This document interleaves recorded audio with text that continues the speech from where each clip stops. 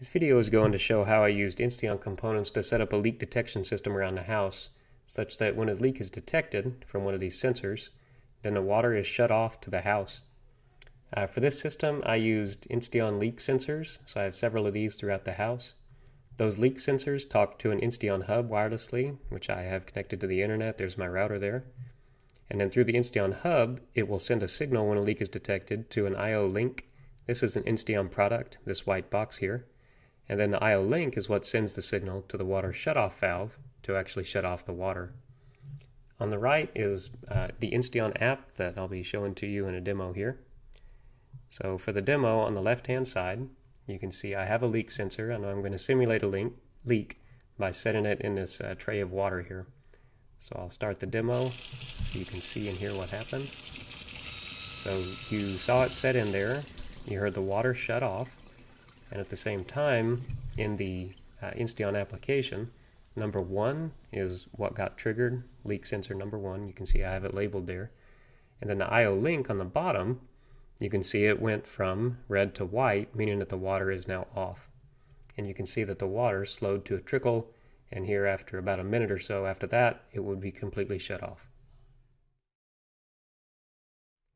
You can get all the components for the system online Insteon makes the leak sensor, the hub, and the I.O. Linc. They do not make the shutoff valve. That's from a custom company, but I'll show you where I bought that.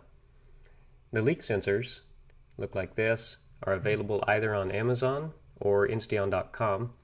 Amazon seems to have a little better stock. Insteon.com sometimes has better deals, especially if you're a first time buyer. They can have a 10 or 20% off coupon. You can see that these are pretty pricey. They do have six packs, that sometimes can help you save a little bit of money.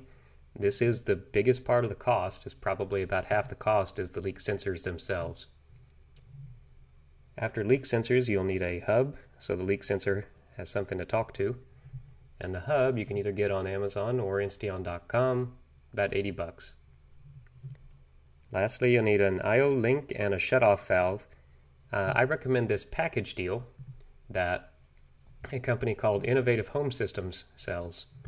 And they sell it as a package with the Insteon IO-Linc, that's an Insteon product, but they make, or they supply the power supply and the water shutoff valve that is known to work with the Insteon, and they give you wiring instructions for it.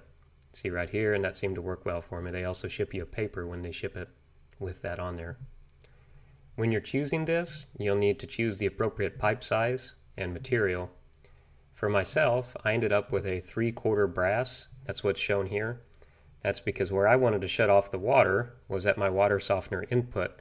So everything to the left, right here where my mouse is, goes into the house and my water input is here, so that's where it gets shut off in the event of a leak. And so in total, this project will probably cost uh, between three and four hundred dollars with the leak sensors being the, the majority of the cost. When you have received everything, I recommend the first test that you do is test uh, that the leak sensor and the IO Linc can talk to the hub. So take your hub, plug in power and network, and then take a leak sensor, and you're going to use the app to pair it. On iOS, the app that you want is called Insteon for Hub. I assume there's something similar for Android, haven't checked, but I assume so. It's important that you get this exact application. Insteon Plus does not work. As you can see, their apps could be better, 2 out of 5 stars, but it does seem to work okay for this purpose.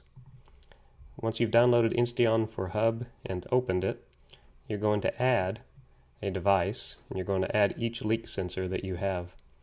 So I'm going to show an example of adding it, but not completely go through the process because mine are already paired. So I'll cancel out. In addition to the leak sensors, you'll also need to add an I.O. Linc. So go back to add a device. Make sure that your I.O. Linc is plugged in.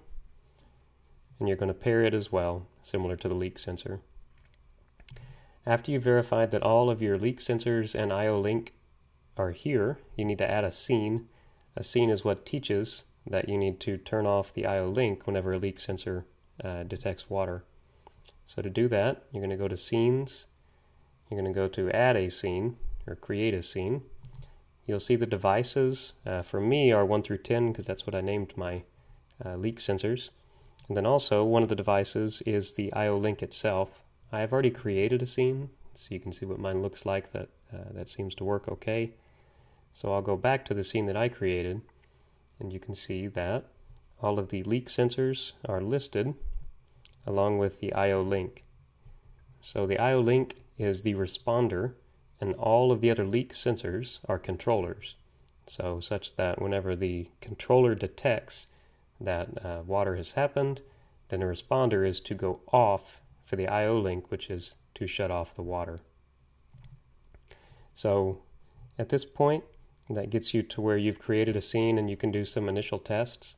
Uh, if you don't have your IO Linc plugged in yet, you know, you can't do the complete test, but you can at least test that for each one of these leak sensors that it says that there's uh, a leak. The way you can simulate that is you just need contact between these two terminals right here and right here. So you can either, you know, wet your thumb and do that or stick it in a small tray of water. And for each one of them that you have, it should turn red whenever it detects a leak. In order to reset it, dry these off, make sure there's no contact between them, and then there's a button on the other side that you press, at which point the red should go away and it becomes white again. So when it comes times to connect your Insteon I.O. Linc and your shutoff valve, the first thing to do before you connect to the water is you want to connect the wire from the shutoff valve to the Insteon I.O. Linc. As you can see here, they're wired with a few different colors, but that's explained on the pamphlet that I had pulled up on innovativehomesystems.com. There's a piece of paper that also comes with it. So you connect that first, and then after you've connected the wiring, you want to connect the shutoff valve itself. And so I ended up with a three quarter brass. You can see that I used some Teflon tape and some pipe dope here. You'll need to decide for yourself where you're going to hook it up in your house. And after that, you should be able to uh, test it out by on the side there's a button that is a manual open and close. So you can use this just to make sure that the shutoff valve is working. And then after you have that set up, you should be able to do a final test and see if your leak sensor uh, triggers the water to shut off.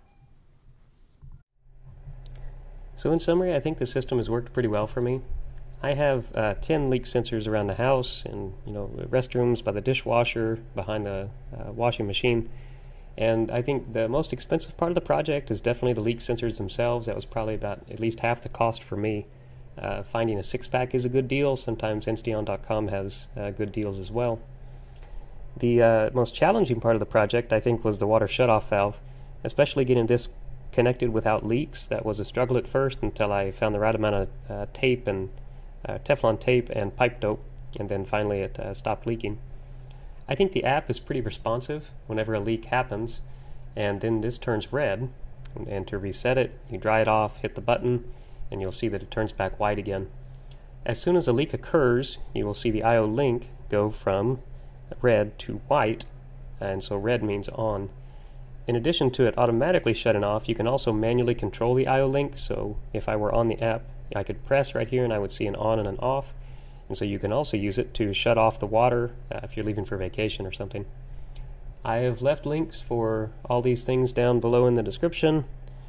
Like and subscribe, blah, blah, blah, all that good business, and hope this was helpful.